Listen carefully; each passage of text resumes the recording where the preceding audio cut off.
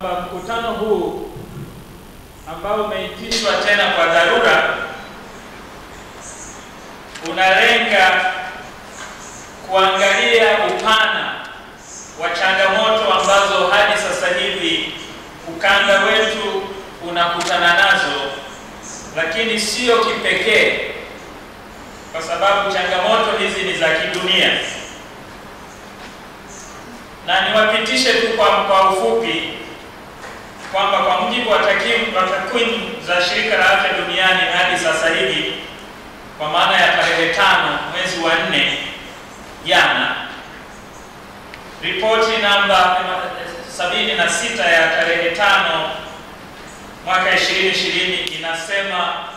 ifuatavyo kuhusu takwimu za maambukizi. Kwamba idadi ya visa duniani ni milioni moja na laki moja thelathini na tatu mia saba hamsini na nane ambapo visa vipya kwa masaa ishirini na nne yaliyopita ni themanini na mbili elfu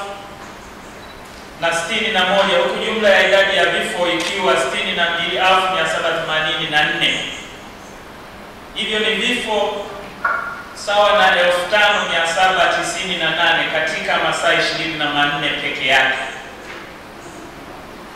Kwa Afrika, kwa nchi hamsini na moja visa tulivyo navyo ni elfu tisa na mia moja tisini na nane na vifo mia nne kumi na nne. Idadi ya visa katika ukanda wa Sadeki kwa nchi kumi na nne isipokuwa nchi za Komoro na Lesotho ni elfu mbili mia moja ishirini na saba na vifo ni thelathini na nane. Bila shaka hivyo vyote, hizo zote ni takwimu ambazo ni kubwa mno na zinahitaji sote tuchukue, tuendelee kuchukua hatua za pamoja. Ninapenda pia kuchukua fursa hii kuipongeza Secretariat ikiongozwa na Dr. Stegomena Lawrence Tax